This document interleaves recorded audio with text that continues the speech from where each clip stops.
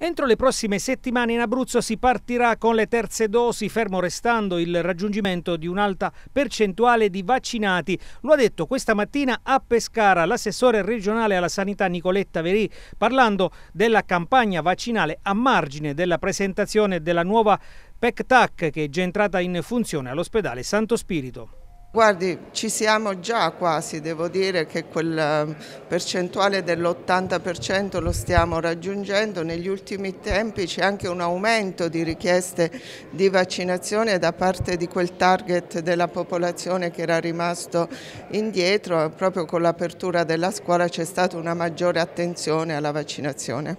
Assessore, per quanto riguarda la terza dose, cosa accadrà da qui a qualche settimana in Abruzzo? Sì, proprio domani ho organizzato un incontro in assessorato con le quattro direzioni per organizzare l'attività su tutto il nostro territorio. La terza dose sarà somministrata alle persone fragili quindi, eh, e ai sanitari, per cui adesso andremo a verificare quali saranno gli hub, quali saranno le strutture che continueranno a vaccinare nella nostra regione. Diamo un esempio esempio di stimoliamo ecco, a chi vuole vaccinarsi, rimane la vaccinazione libera, questo ci tengo a precisarlo, però diamo anche la possibilità di non mettersi in liste di attese, di non prenotarsi, quindi la possibilità di poterci accedere in maniera tempestiva.